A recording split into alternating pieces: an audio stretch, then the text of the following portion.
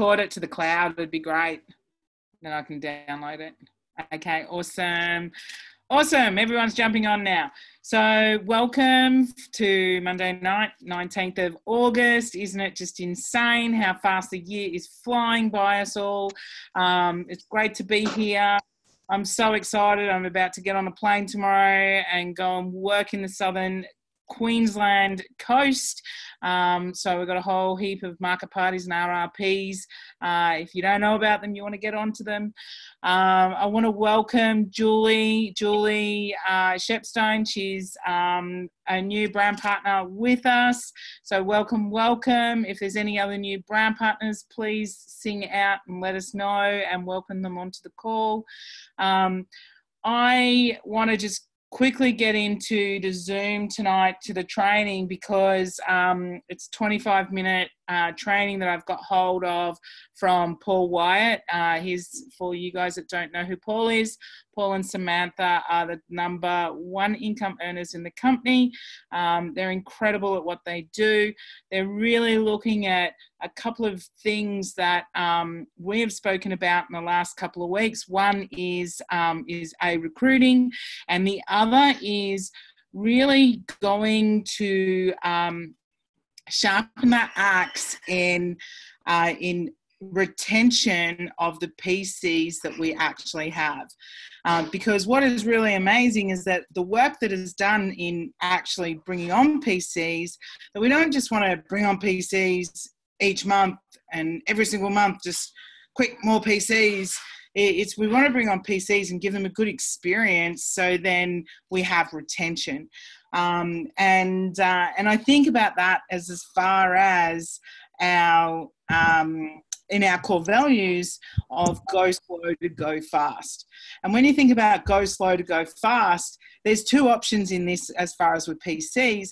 We can just bring on a whole heap of PCs and just be like PC and rolling machines, or we can bring on a PC and we can actually share with them and help them through their first um, experience of the first 90 days of um, of using our products so they can get a good experience making sure they have good before and after photos um, Kel did a great training on that a couple of weeks ago if you guys haven't seen that you want to watch the recording of it because it's fantastic um, you want to make sure that all these little parts are in motion so they have a great experience because we know that if people use this product for that 90 days they then can understand how the product works because our product is unique. Um, so I am going to zoom straight over to Paul. Uh, so get a pen and paper out because you definitely want to be taking notes. Um, and we will chat on the other side. So Michelle, if you can just um, mute uh, Cheryl for me, would be great. And I will just share my hand my screen over. Hang on a sec.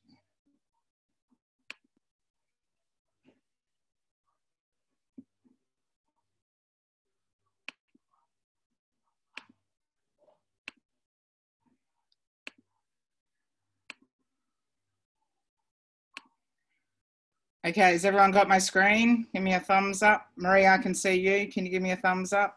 Can you see my screen?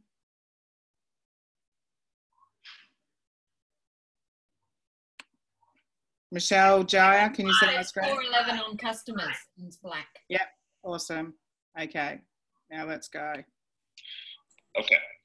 All right, welcome. If you are watching this uh, training video, you're in for a treat. In this video, we're really trying to um, showcase and share some tips, some verbiage, some skills that can help you in, in, in managing your customer base and maintaining a great customer base and building a great business by keeping your customers happy and ongoing. And we have three special guests that are on this call for absolute reason because they do this month in and month out.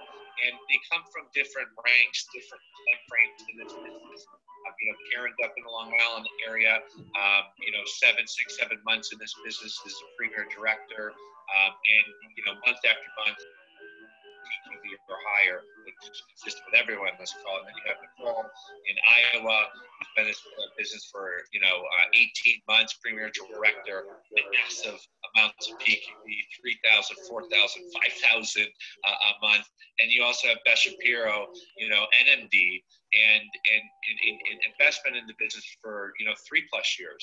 And to me, you know, the longer you are your business mature in, in, in this industry, um, it's even bigger of a feat of keeping that customer base happy. And Beth has always had three thousand, um, you know, PQV, um, you know, month after month, year after year, which is just a huge uh, feather to put in our cap. So you've got three incredible people that are going to, you know, share some tips with you guys on how how they manage their customer base, right? What they're doing from verbiage to um, organization um, to connect communication. And I want to touch on um, some of that with all of them so you guys can take notes.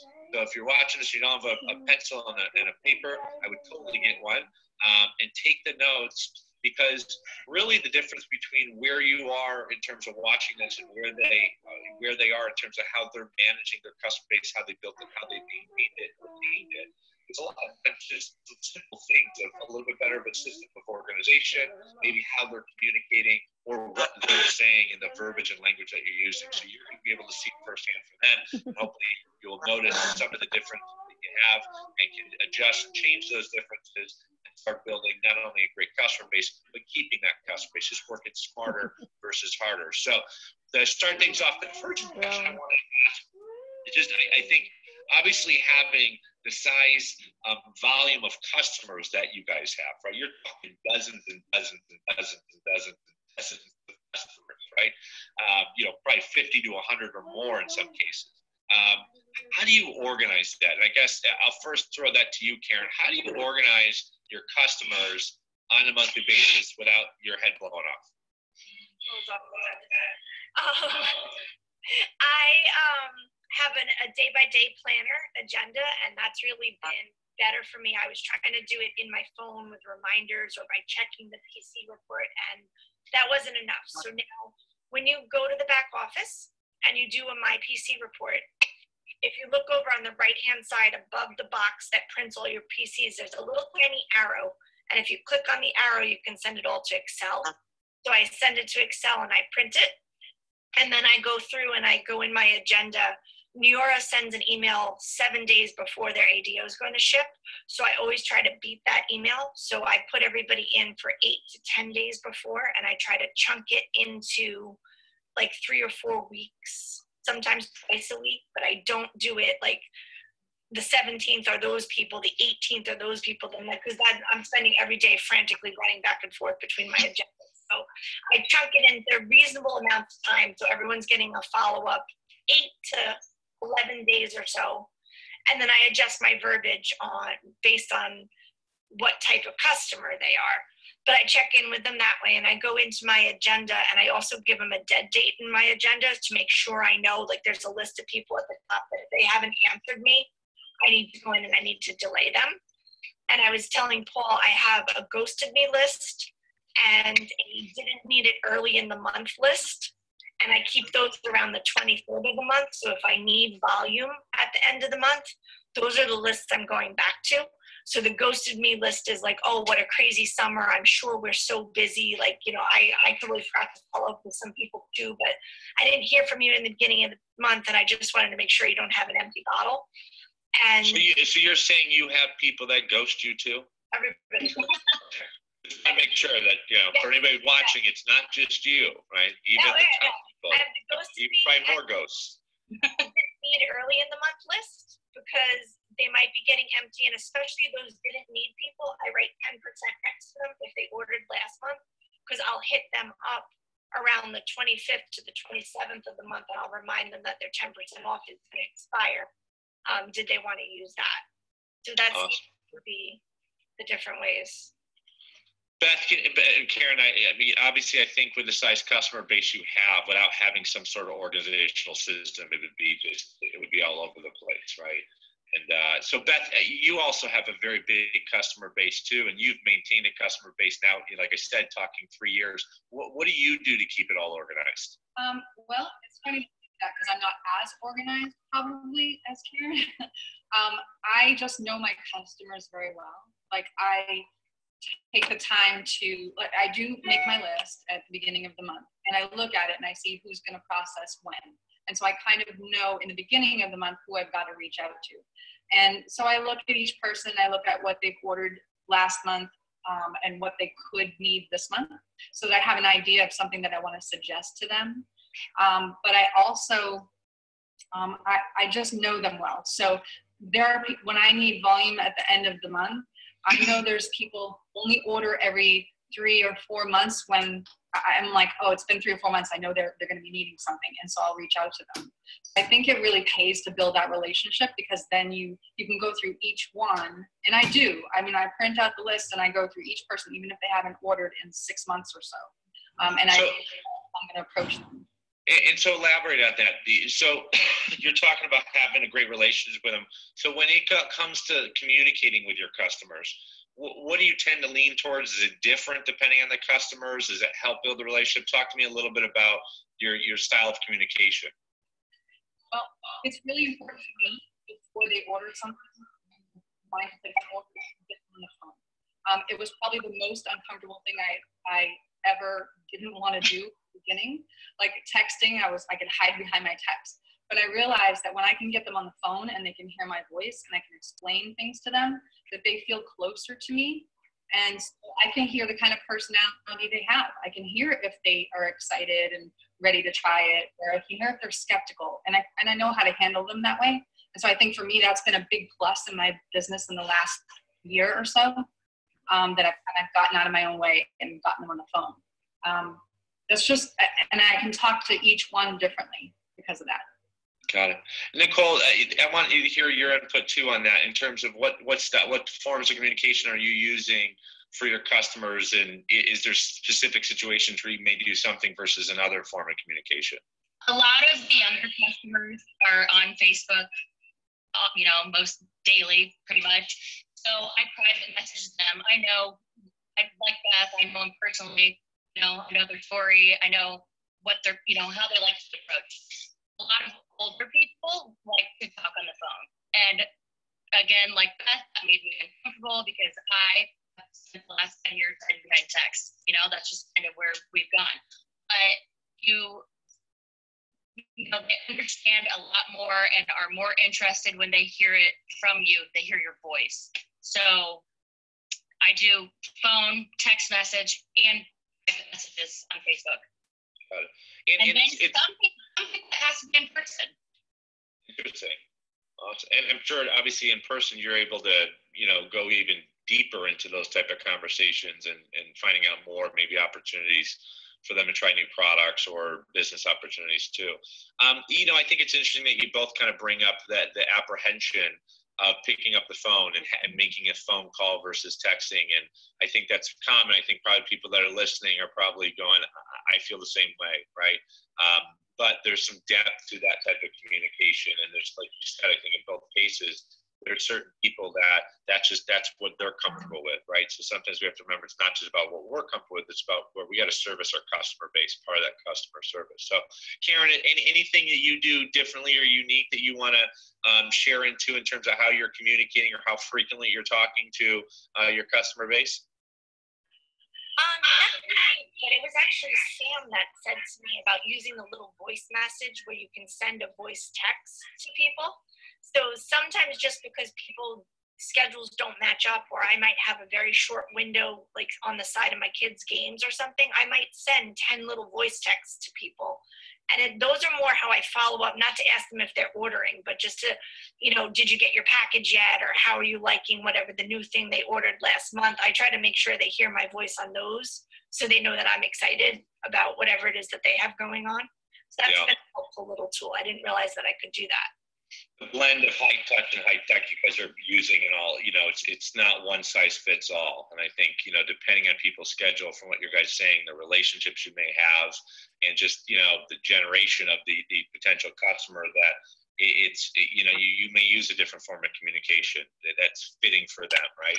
So uh, i think obviously probably the biggest question that people want to know um, especially and you guys are, are doing it incredibly well month after month because you guys have such high PQVs big customer base people always ordering is really you know what are you doing either when you set the customer up for the very first time or when it comes to their second ADO, what, what are you doing to keep the customer to order that second time that also not only, you know, just throw in there that gives you the Nerium gives back and gives a customer a 10%, but what things are you doing? How are you saying it? Or what verbiage do you go to? Or maybe some tips you can share about keeping that customer and keeping them ordering the same product or different products, but just keep that ADO continue to run. Karen, why don't you, you tell me, you start that off?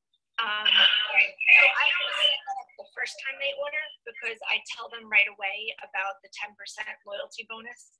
And I don't, I don't always, oh, sorry, my dogs are barking. I don't always get into it in full detail, but I do set them up with the expectation that if they order again or when they order again, if it's in consecutive months, they get the 10% off. And when I contact them I've always contacted them at least one time before I contact them about reordering to ask them if they like their new product and how it's going.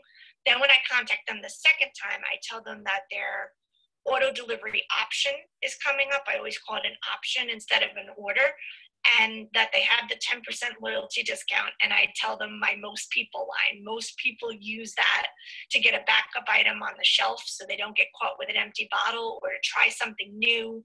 Has anything caught your eye? Do you want me to set you up with a refill? And awesome. those seem to get a positive response. I love it. And, and like, in just specific change of words can really change the perception of how someone's, you know, um, absorbing that information or that message. So I think that's. I really just want to. I want to add something. So when somebody orders for the first time, I make sure that they know that they need at least 90 days, so they don't think that they can just buy one bottle and everything, you know, be amazing and perfect. So it's going to take time. It's not instant. Even though some of our products, you know, give instant results, you want to do it the full 90 days piece to to see the full effect. That's a, that's a really interesting point. Setting the right expectations for that, so to say, maybe trial period, or using that product to really see this, the, the best results possible. I think uh, setting the right precedent early on probably minimizes people after the 30 days just falling off.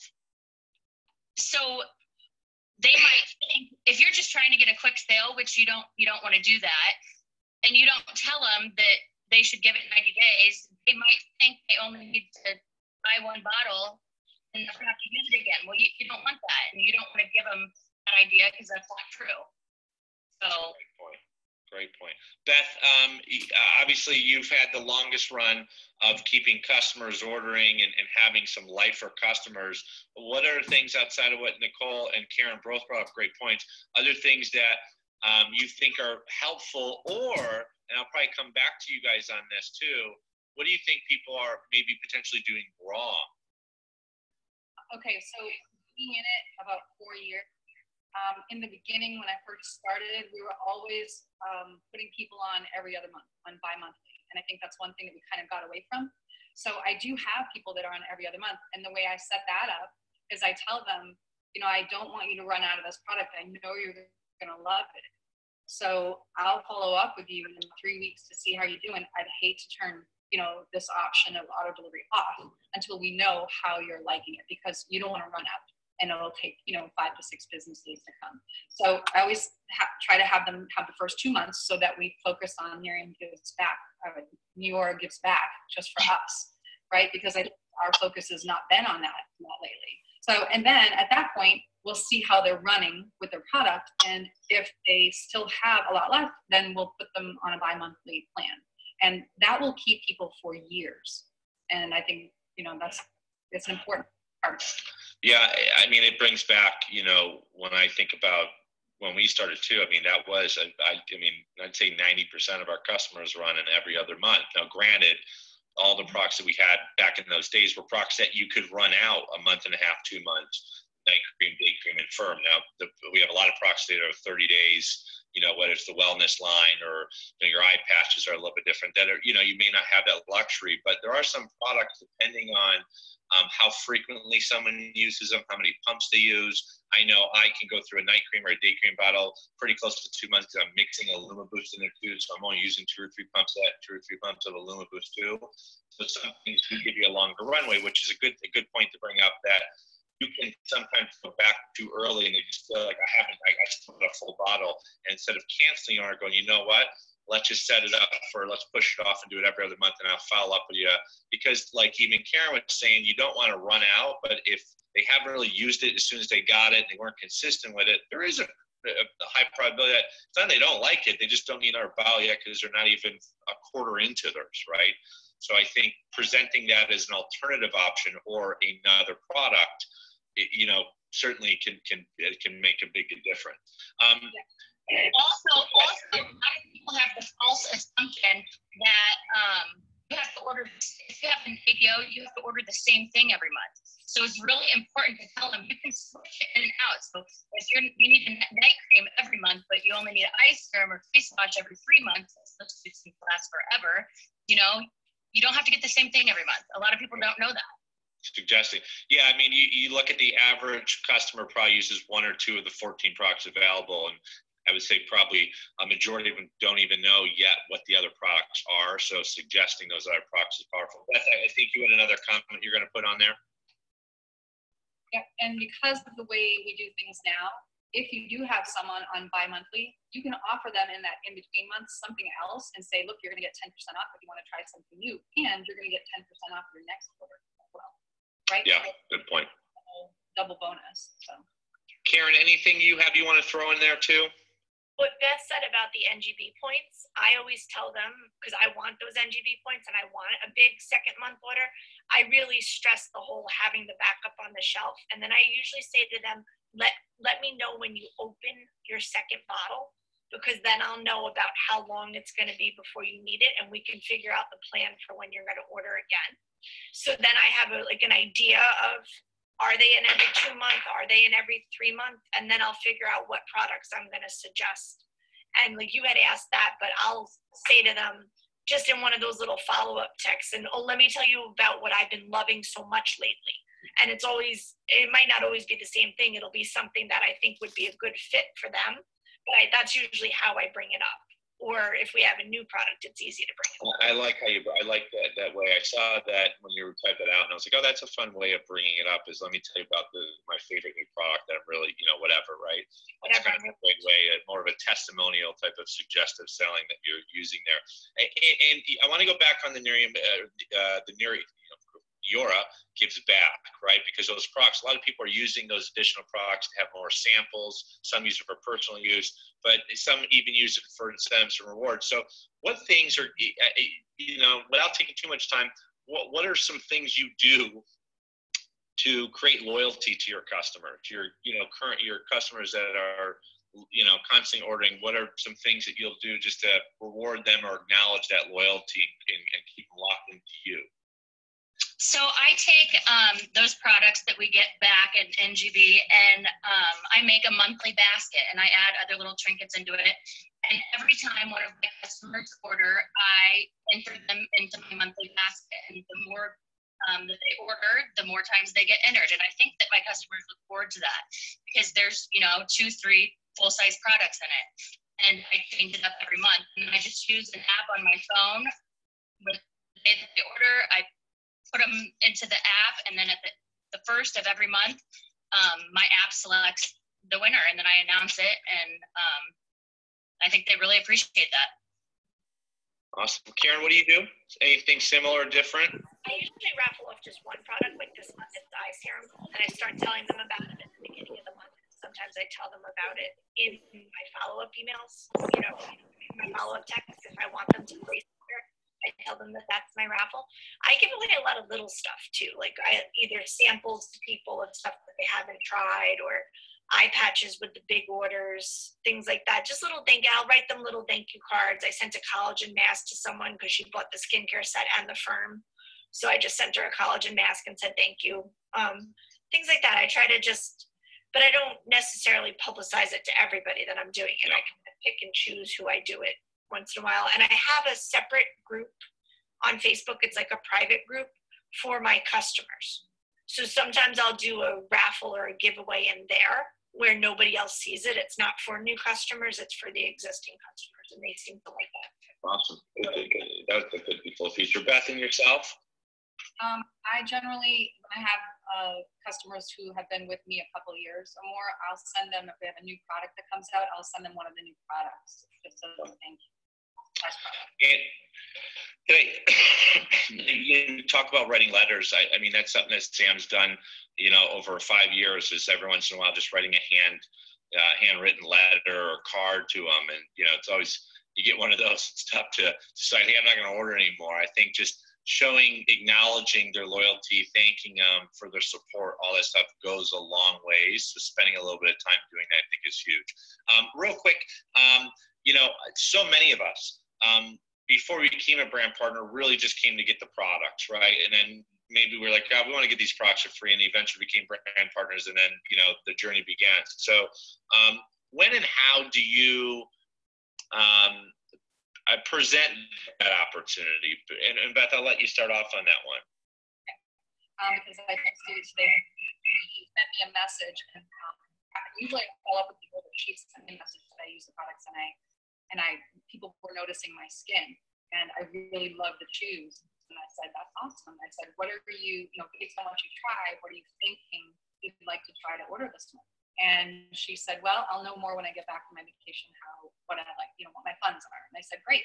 I said, so you'll get 10% off since you ordered something last month. But if you're, you know, if you're wanting to get the products free, we need to talk about that. So I always bring it up in the beginning, like they've tried something. Awesome. Karen, how about yourself?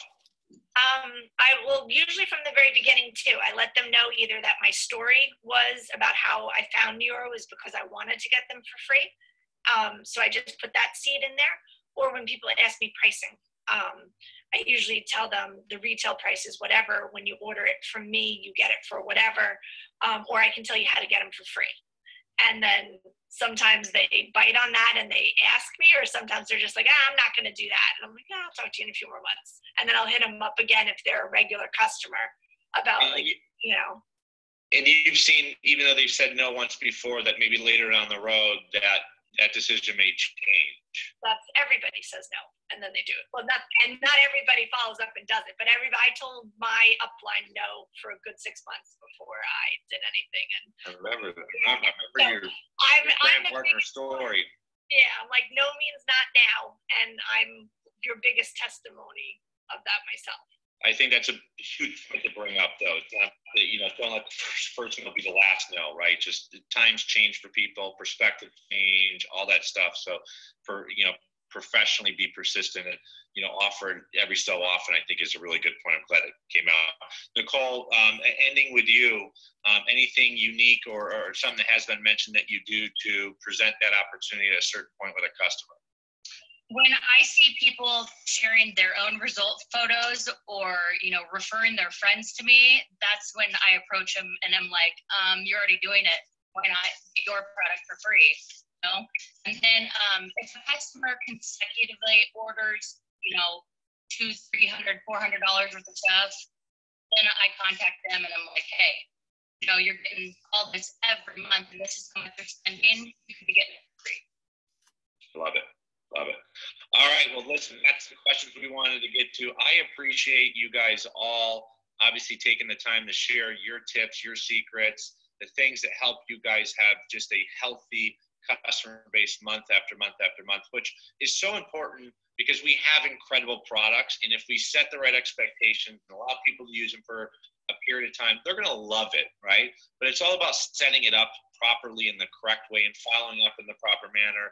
And then you're going to have customers like you guys have, our, uh, you know, all have, our lifers. You'll just continue to order over and over and over again because they really got to use the product long enough to fall in love with it and see those results. And not only is it a very joyous, happy thing to see as a brand partner, but it also changes your check, right?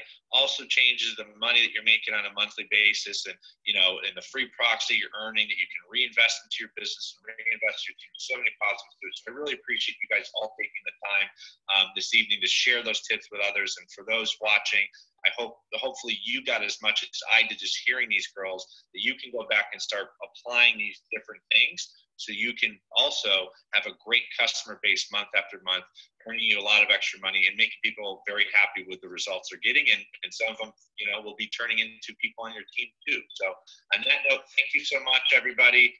Um, thanks for watching. Ladies i thank you can thank you thank you guys enough for uh, for you taking the time. So good night everybody. How good is he? Isn't he fantastic I hope everyone took some really great notes from that. Um, what is awesome, what is really awesome as well is that I actually have um, the questionnaire that he originally asked those ladies. Um, so I have it in a PDF. I will give that to all of the leaders in this group that come along. So you can make sure that you put it out into your teams uh, because um, you know sometimes people just get stuck with that verbiage and and it's nice to be able to go oh look that there it is right there for you guys to actually just copy it and um, make it your own. So, in on that note, um, it's already 30 minutes our time together. Um, incredible training tonight, guys. It is. I can see people writing in the chat right now. It was really good value. Um, have an incredible week this week. Go out, be amazing. Can't wait to see everybody on the uh, Queensland coast. I'll be heading that way tomorrow. Um, have an incredible day everyone, and we will see you next week.